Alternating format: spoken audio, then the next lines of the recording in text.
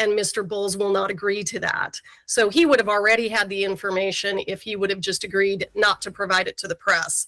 Actually, Do- Judge, Hang on, hang on, Mr. Bowles.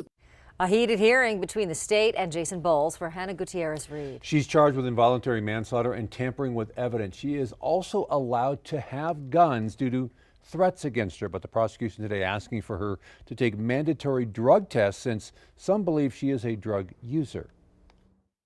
Would the court like an offer of proof in terms of uh, Ms. Gutierrez Reed's substance abuse issues?